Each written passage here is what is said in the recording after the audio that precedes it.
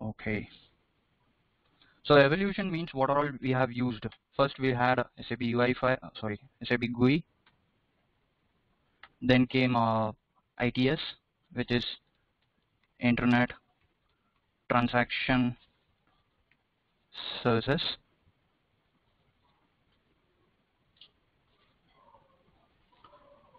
Then we had BSP, Web Pro. Then we had Web UI, and finally we came into SAP UI5. Yeah, this is how the evaluation is. Let me draw a quick picture how this is have been handled in earlier earlier days. So we had SAP GUI. Okay, we had SAP GUI initially, and we have this application server, which is nothing but our, our NetWeaver. That is what we had. So this is how the data used to interchange between application server and the GUI. So what happens is initially there is a protocol called DIAG protocol. This protocol has been used to interchange the data from your uh, SAP GUI and to the application server. This is the only protocol it's been understanding. It's prior to our HTTP protocols like that.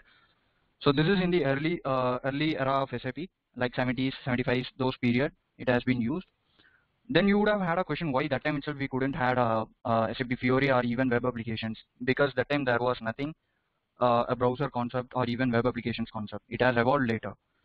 Yeah. Then later, in order to in order not to lose the uh, customers, SAP then thought of going for browser concept to establish them in the way of browser. Okay. Then the browser concepts in 90s, early 90s, the browser concept came, but the data in the application server has to reach the browser and from the browser where we input all the data should reach back the application server right so for that there was a separate converter in middle which used to do all the conversions yeah so what it does is it basically converts your HTTP protocol because browser understands only HTTP protocol so it has to convert HTTP and back to HTTP right so for that what it does is it hits back the server and it has to come back. So here we will be using DIAG protocol only always. Yeah. So browser you will input and it goes to the application server and it comes back. So in order to convert HTTP to DIAG and DIAG to HTTP, this converter has been used. That's why we have this converter in middle. DIAG to HTTP and HTTP to DIAG. Yeah, this process is carried out in the middle. This is what we had inter internet transaction services. All the transactions, not all the transactions. Uh, this is the drawback. It it, uh, it didn't uh, allow to stand alone in the market because only few transactions can be established. Uh, like uh, maybe I can give an example like SE11 or something like that. Uh, those kind of transactions only was established for the browser. Then not a development something like SE38 or something cannot be accessed. You, if you want to develop a program, there was nothing transaction for browser. So then came the BSP application. Yeah. BSP and Web Dynpro. Let's see first Web Dynpro. Is a, just a combination of these two, which is actually residing, this converter will be residing within the application server. It's like a box, both will be inside. So same browser concept was used. Only thing the advantage of using uh, Web Dynpro is uh, it is easy to create. Much The prototyping is much faster. That's the reason Web Dynpro was uh, in the picture and mostly we use ABAP programming only. Yeah, That is the concept and it used the MVC concept also, model view controller and still it's in usage in terms of uh, support projects or something like that. Uh, I have not much worked on Web Dynpro. Yeah. Then uh, the problem is why this also got dropped is this browser was there, right? This browser using Web Dynpro, the client uh, client side validations has been uh, was not able to do it. That's the problem we had in Web Dynpro.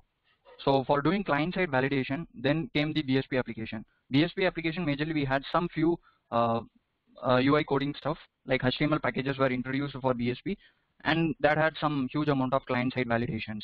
Those things were introduced in BSP applications. Yeah. Then also again came into the picture of uh, Web UI. Web UI is uh, more predominantly uh, successful in CRM applications that where they have been used uh, predominantly.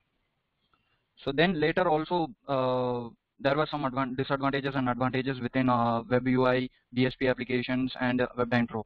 Later came our uh, superhero, SAP UI5. Yeah, this this major thing is major disadvantage in web UI. You cannot use it in mobile. Uh, so that is the reason it came into SAP UI5. This is more responsive. Yeah, it can be responsive means it can be used in mobile, tablet, PC. That is the thing. So hence we came into the SAP UI5 framework and with SAP UI5 framework we were able to create a Fiori applications. And now we came into the web programming model. And I, I will not say that I'll short in short I will write it as APF. So because it doesn't mean that SAP UI5 has died. It will it is it is still there. This APF uh, in a web programming model we have this Fiori elements, right? This Fiori elements will be using uh, SAP UI5 framework only, but we'll not touch any of the coding in, in, in that place. So just we'll use the template, we'll consume the template and we'll uh, put our UI, UI elements there. That's it. We arrange it and we uh, display it. That's it. So still, still you can use SAP UI5 coding for that. Something like uh, uh, some features are not there in a web programming model. Like example, if you want to add a map there, uh, in your application. So those stuff are not being introduced by something like annotations. So we can still extend your uh, web, uh, Web IDE application which you have deployed. You can still extend it and there you can write your own controller and view logic. That way still SAP UI5 is there. Okay, the major advantage is first I said uh, UI coder, project management perspective I said you need UI, co UI coder and backend developer, right?